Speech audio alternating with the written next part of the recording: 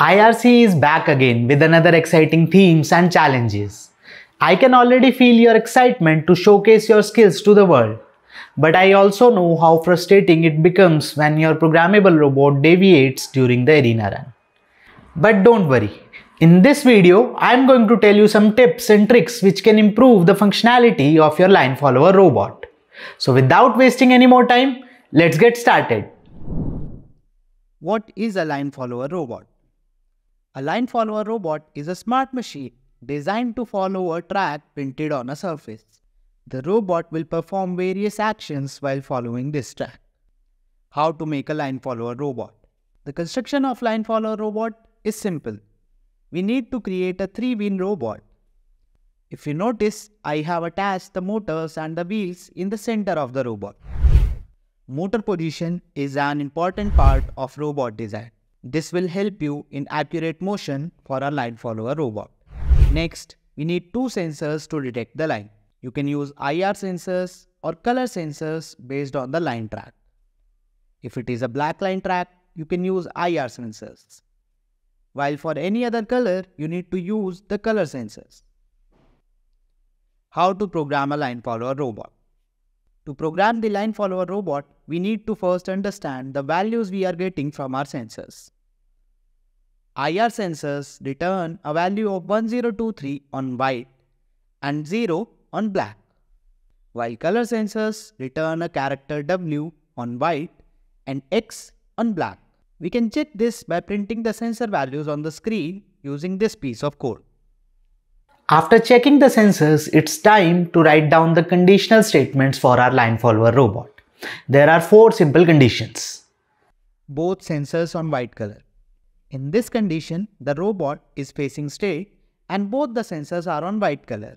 So both the sensors will return a value of 1023 which is not equal to 0. When the robot is in this condition, we will program the robot to move in forward direction. Here is the code. Left sensor on black. In this condition, the robot is tilted to the right side. The left sensor is on black color and the right sensor is on white color. Hence, the left sensor will return a 0 and right sensor will return a value not equal to 0. The robot will be programmed to turn left in this case until the condition is changed. Here is the code. Right sensor on black color. This condition is very similar to the last condition, but just opposite to it. Here, the right sensor is on black and the left sensor is on white. Hence, the left sensor will return a value not equal to 0 and right sensor will return a value equal to 0. The robot will be programmed to turn right in this case until the condition is changed. Here is the code. Both sensors on black color. The robot is now facing straight and both the sensors are on black color intersection. This is the most important condition for a line follower robot. And in most cases, the line follower robot deviates after reaching this condition only. Let's understand this in detail. In any line follower arena, there are several intersections. And on each intersection, the robot is required to perform various actions. Let's start by counting the intersection on our arena.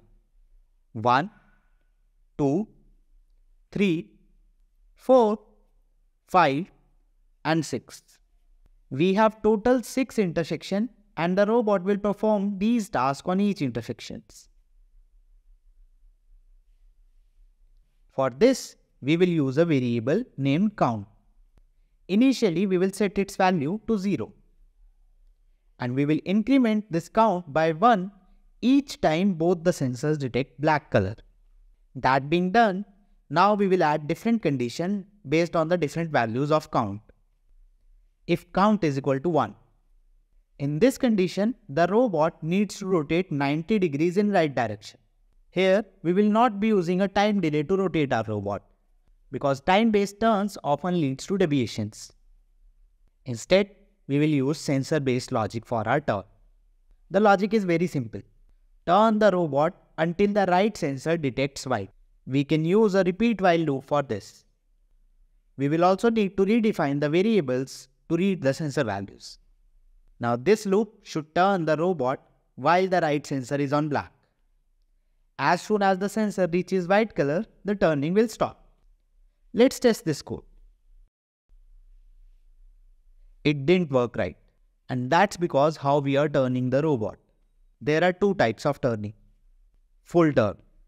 In this type, both the wheels rotate in opposite directions, making the robot turn from its center. Hence, the robot turning radius will be less.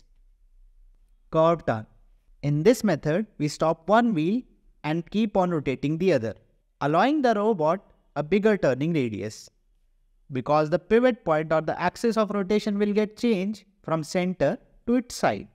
And as you can see, the robot is now taking perfect 90 degrees turn. So we will use the curve turn method in our code. If count is equal to 2. In this condition, the robot needs to rotate exactly 180 degrees. We will use two loops for this. Repeat while the right sensor is on black. Here, we do not want a bigger turning radius. So we will use full turn logic. This loop will turn the robot halfway. Now, when the sensor is on white, we will use another loop which will further rotate the robot while the sensor is on white. This loop will now rotate the robot further in right direction until the right sensor detects black color. If count is equal to 3. This next intersection is very similar to the first intersection. We will have to rotate our robot 90 degrees in right direction. So we will not create a newer condition. Instead, we will modify our first condition. Now, if count is equal to 1 or count is equal to 3, the robot will take a 90 degree turn. Similarly, for count is equal to 2 or count is equal to 4, the robot will rotate 180 degree if count is equal to 5. This intersections requires a time-based action. So here we can use a time delay to stop the robot along with a loop to move forward until the sensor detects white. So this robot will move forward until the sensor detects white. And lastly, we can finally stop our robot to complete the arena on count is equal to 6.